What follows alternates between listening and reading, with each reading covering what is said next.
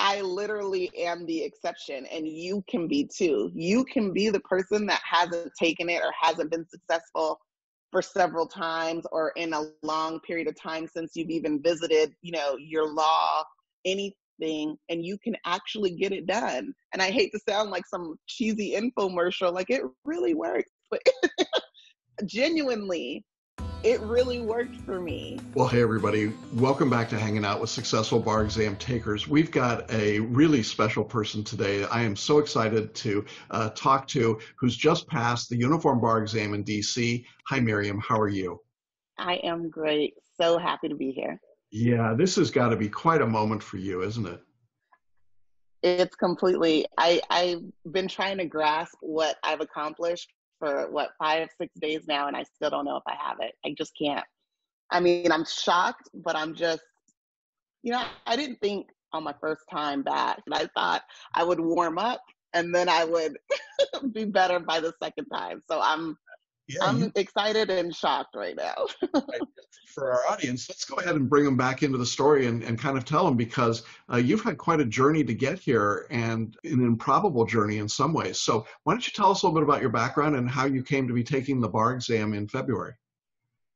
Okay, so so that everyone understands the craziness of my journey, I am from San Diego and I went to undergrad and law school in Louisiana. I went to Southern Law Center and Southern University for undergrad. And as everyone knows, Louisiana still studies Napoleonic law. And I never intended on staying in Louisiana forever. And so I attended this law school, studied Louisiana law, and then went and took the bar in California in 2011, July bar. And I was unsuccessful. I need to go look at my scores and all that again, but I wasn't far. I was pretty close. So I took it again in February. I did a big box lot bar review both times, and I was again unsuccessful in February. And then I started a life living for personal fulfillment and happiness. Like I just kind of got off of the I needed to study all the time and I'm kind of sort of miserable because I'm always studying. and I started living to do what I enjoy, which is travel. So I started working as a flight attendant. And I really fell in love. I was actually had already started flying by the time I took that February bar. And so it was interesting because when I didn't pass that time, I was I was bummed, but I was really happy because I was enjoying my job. So to make a long story short, a eight years passed from that point until me taking this bar exam in February 2020. And I got married, I had a kid, and I'm not gonna say I ever really got tired of flying, but it got more difficult because I didn't expect to just never want to leave my kid. so that's what reminded me that I have this ability. And so it made me reach out to some of my friends that have been practicing. And one of them passed Florida way back when we first graduated law school. And she told me about celebration. And I watched one of these videos about someone that was successful. It was actually a girl that used to be in Florida and then took DC specifically because I was just obsessed with it. I said, her situation sounds like mine. And I just hopped on board. I watched probably a couple things. I had my 15 minute consult with Jackson literally on an overnight I was flying flight attendant. I remember that you were in a hotel room somewhere and we talked. That's right. I, now that comes back to me. Room. Yeah, yeah.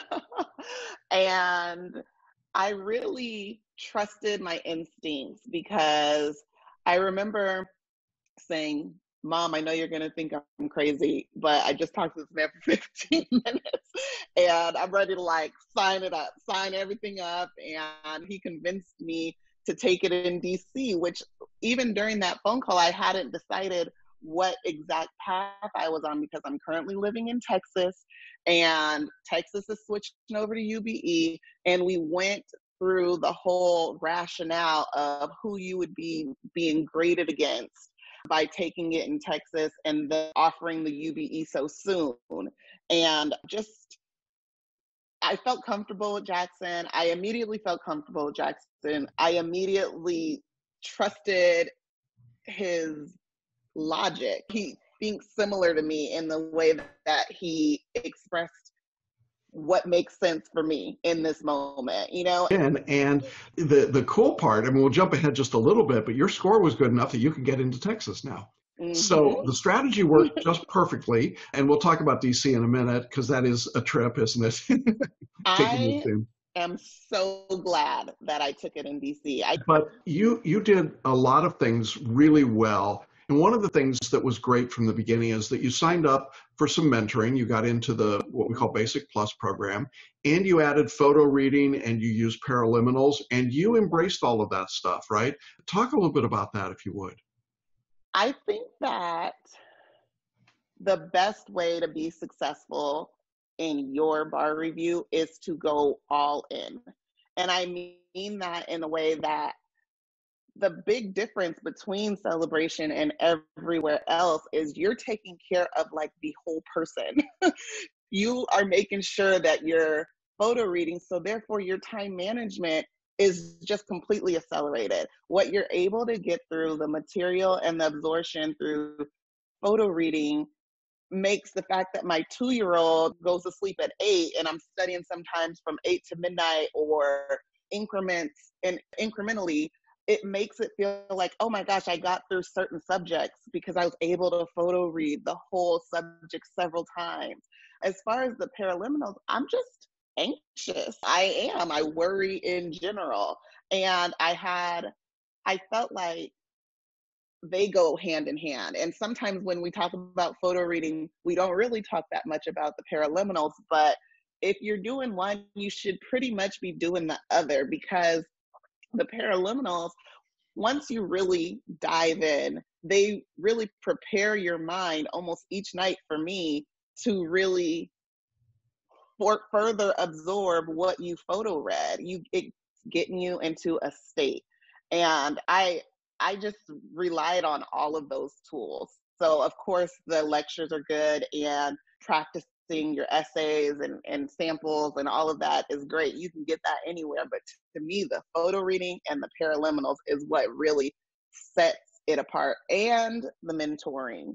Because without the mentoring, there was really no, you have to do the mentoring with Jackson because Jackson is so good at what he's doing at this point that he probably caught a vibe of some sort from uh, from me early on and was able to say, okay, let's stop for a second because I know what you're doing and I need you to stop doing that if you want to be successful. I mean, he probably told me that like two or three times during our our video sessions because he could tell that you're still being anxious and I don't know why because we got plenty of time your writing is improving these are the areas that you need to work on so I'm all over the place with this answer but photo reading and paraliminals go hand in hand especially if you're going to immerse in this and you want to take care of it all because it's stressful to study like this. It's a lot of information, it's overwhelming.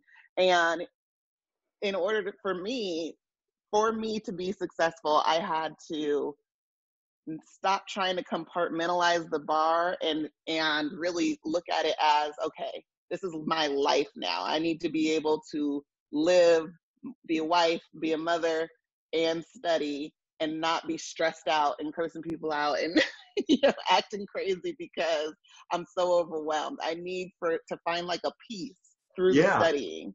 Yeah, and one of the great things I saw, Miriam, with you was that you went from this sort of hyper stressed, anxious individual to somebody who was growing into the process and becoming calmer, more focused, and certainly more confident going in then I thought right before the exam, you were you were just like in the you were in the zone. You were like, okay, I know what I'm doing. I know how to do this, and it's not nothing's going to get me right now.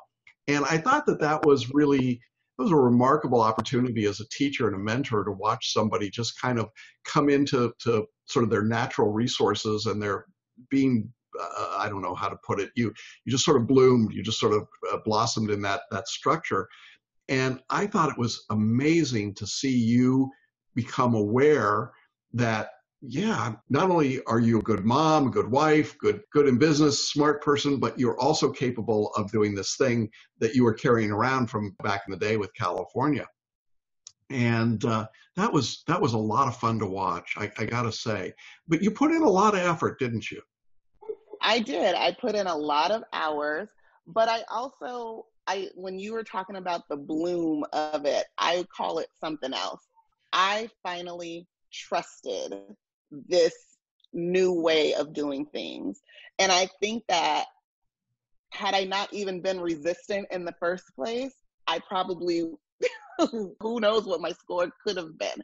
But I think that what, for me, what changed in over time was that number one, I got comfortable with the process. And that's why I'm so glad that I started early because I was, I didn't think of it at the time that I would be learning new things. So I'm learning photo reading, I'm learning how to use paraliminals, I'm learning mind mapping. Those are things I didn't do in law school. So it wasn't like riding a bike because I was having to acquire a new skill.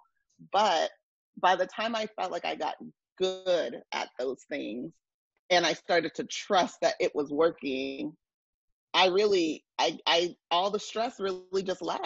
I just felt better about the process, about what I was doing, and about my chance at being successful. Yeah, and that makes a big difference, doesn't it? When you start to believe that you can do it, right? I, I, think that's a big part of it. You you incorporated photo reading, paraliminals, mind mapping pretty early on in the process. A lot of times people ask me, does it take a long time to learn how to do those things? How would you respond to that? I would say no. It doesn't take a long time to learn how. I would say that it takes a while for you to get confident in doing it. So you're doing it right. You just don't believe that you're doing it right. And that's exactly what happened to me. I was able to recall because you go through the, the process and you don't really go back and photo read, photo read stuff from the very beginning because you've already done that. And now, in hindsight, I had all that information and I was doing it right way way back then when I started the process, but I was doubting myself and not understanding that it, it doesn't work that way. You and I and you have to get to the point of trusting it in order for it to work. It was it was very evident in my towards the end when I was doing my MBE questions.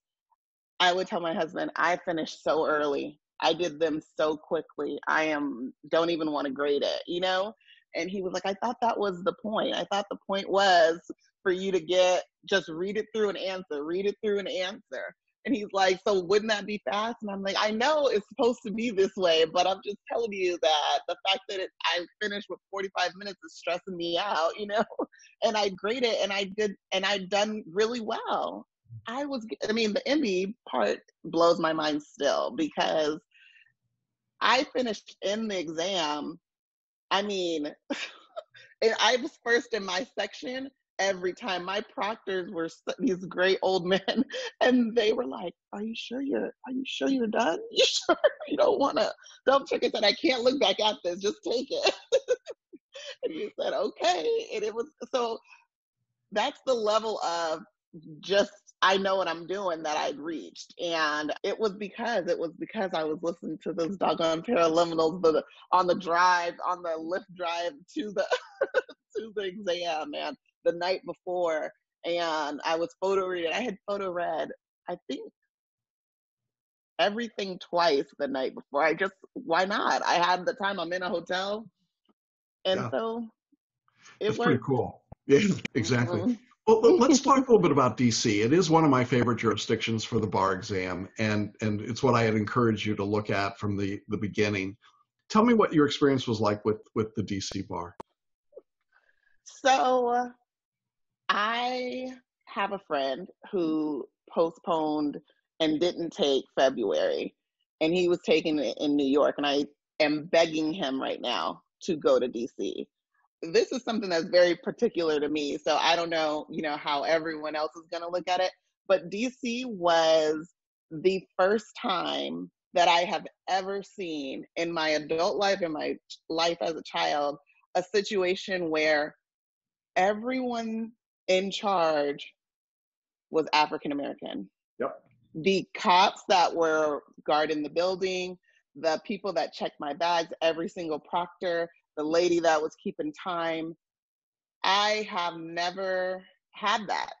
I mean, I took California twice and it was the polar opposite of that. It is, yeah. And I remember after my day one, I called my mom and I said, Mom, I've never been in a professional situation where I thought that everyone there was rooting for me. I remember my proctors feeling like I told my mom, I said, they reminded me of my grandpa.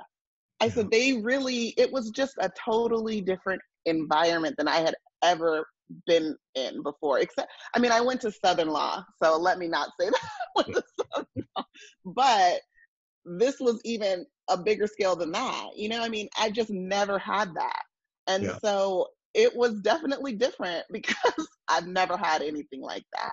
Yeah, and we, when we first talked, I, I said that to you, and I you yes, looked you, you kind of gave me a side eye, like eh, I don't know, white guy telling me about this. But the the reality is that I think for all of us, we want to be in an environment where we feel nurtured and heard and seen uh, in a positive way. And the bar exam is stressful, and it is mm. some other group of people judging us. And I think from a point of privilege, it's hard for me to truly appreciate how difficult that must be. But I have gotten this comment and feedback from so many African American students about the DC bar that it just feels like a comfortable, warm place to be. And, and I think that makes a difference. I, I'm not saying you can't pass anywhere else. Of course you can. But when I compare that to the Texas bar or the California bar or the Florida bar, it, it's a different, it's a different uh, scenario. And I, I think one of the things I liked about DC, I've always liked about them, is it's a smaller bar exam. Mm-hmm. You don't have thousands and thousands of people there. And, and I think that they've kept that atmosphere in the, the bar exam in a way that that makes it possible for people to do their best rather than trying to intimidate them and maybe they they see if they can play mind games with them so like florida um, or california. And so I, I, thought that was really good and I, I really was excited to see you take that approach. For those that don't know what we're talking about in terms of the strategy with texas because texas was moving to the ube they had announced that any uniform bar exam score within 24 months of that move would be transferable. And the score that you needed, I want to say, was it 270 or 266 in 270. Texas? 270. Texas. And you blew that away. And so you could get licensed in uh, DC, New York, Illinois, Texas, pretty much anywhere. pretty much anywhere. That had to be an extraordinary feeling for you like I said, I probably read the email like 35 times at this point. I told my husband, I said, I think I know it by heart. I was, I'm not going to say I was in shock because I knew I killed those MBEs. I really did. I felt good leaving that day. But from our mentoring, I felt like I was struggling with my timing on the writing and I was really worried. And then when we, when you gave your predictions for the topics, that knocked me out a little bit and they were spot on which further frustrated my situation because those were hard subjects and i was just worried about the time because even though it's not even a matter of i'm not a fast typer it's just i'm going from california where i had an hour to having 30 minutes on each essay and it's a big difference. But with all that being said the scores were amazing. I have, I'm still on cloud nine. I'm trying to get my husband to move to Denver now. Um, Colorado's a UBE state, and you you're in. Exactly. the numbers. I said we can go anywhere but Alaska. I mean, and. I don't know why Alaska would be that high, but that's perfect. I, I, don't either. It's pretty strange. I, I wanted to, to talk also about the fact that as a as a wife and a mom, you've got a two year old, right? What is we get a lot of uh, folks that come to us who are in that circumstance what is that like trying to balance and manage all of that and study i'm going to be frank because I think I'm not the mom that has it all together. Okay.